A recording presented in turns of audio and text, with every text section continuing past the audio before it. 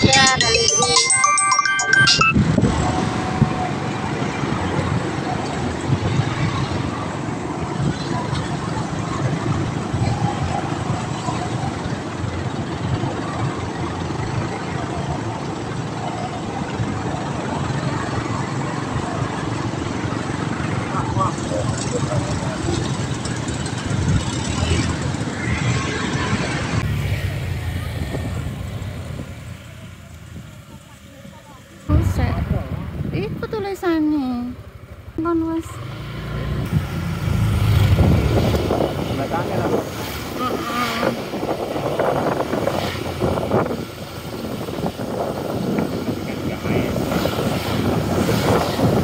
Jembatan Pilalung, guys. Ini jalan satu-satunya. Demak.